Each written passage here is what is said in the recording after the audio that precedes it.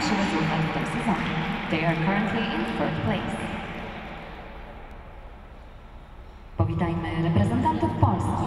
On the ice, representing Poland, Anastasia Polibina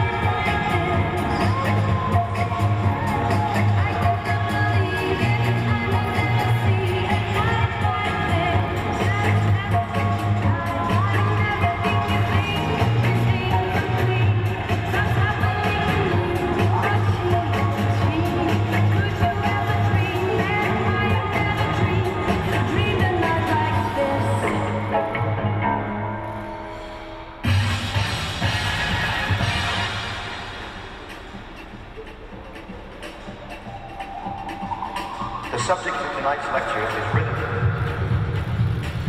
And so tonight we say, hip hip, chin chin.